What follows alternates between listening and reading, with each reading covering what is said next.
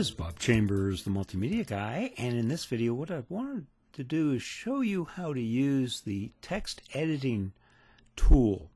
Uh, it might not be quite so straightforward, so let's just put a text box here. And the first thing I'm going to do is you'll notice when you're using the text box that there is no right click on your mouse, which usually allows you to cut and paste. However, once you have information on your clipboard, all you need to do is hit Control V as in Victor, and you can put in text just like you saw I just did right now. Now, let's go over here, and this little tool here, which is the Move tool, click on that, and you see here's this text box. Okay, now I can't open text here or this text, uh, the uh, text color, size, and style. What I want to do is I want to use this moving text. This is the one that I can click on and have these handlebars on this thing show up, this uh, text box.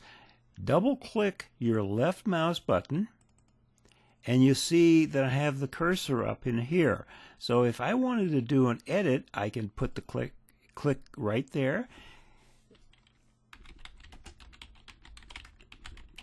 and then I can just type in whatever I want in that area. You want it to, to disappear something, you can select it and hit delete.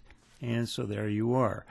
Okay, so all you have to do when you've got you you click here using this tool right here, the the text move or the actually the object move box.